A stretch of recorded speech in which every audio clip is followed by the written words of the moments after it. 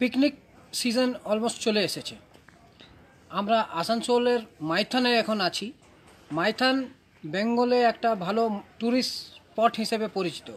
এখানকার যারা ব্যবসার সাথে জড়িত, নাবিক, যারা এখানে নাবিক, ওনারা কি ভাবছেন? কেমন হবে এবার পিকনিক? আপনি কি মনে করছেন এখানে মানে আপনারা কতটা প্রস্তুত এটা নিয়ে?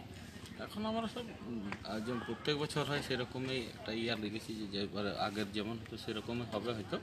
তার জন্য আমরা প্রস্তুত নিচ্ছি। বোর্ড ফোর্ড সব রিপেয়ার হচ্ছে হচ্ছে।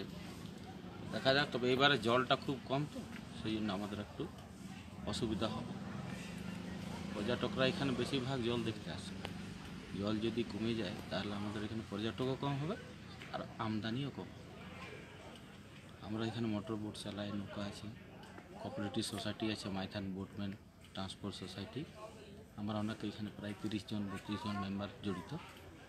এটা দিয়ে আমাদের বারো মাসের এই কিছু দিনের গত দেখা দেখা গেছে অনেক এইখানে লোক ডুবে মরেছে। সেই জন্য আপনারা কি এবার লাইফ জ্যাকেট যে প্রশাসনের তরফ থেকে বলা হয়েছে সেটা নিয়ে আপনারা প্রস্তুত?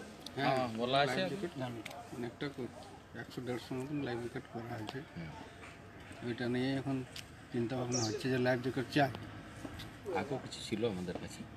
আচ্ছা প্রশাসনের তরফ থেকে কি যারা যেমন যেমন মদ খেয়ে নেমে যায় জলে এইসব সচেতন করার জন্য আপনারা কিছু ব্যবস্থা নিচ্ছেন? আমরা পুলিশকে বলব প্রশাসন এখানে যারা এখন প্রেজেন্টেড আছে যাতে এগুলো না হয় প্রত্যেক বছর যেমন ওরা ওনারা গাইডিং করেন সেরকম যদি করে তাতে আমাদের অসুবিধা হবে না।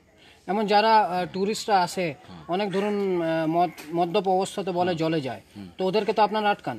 ওদেরকে আটকায় আমরা কি? আমাদের কত যে যাতে লোকের ক্ষতি না হয় তাই জন্য আমরা সেভ করার জন্য লাইফ জ্যাকেট দিই।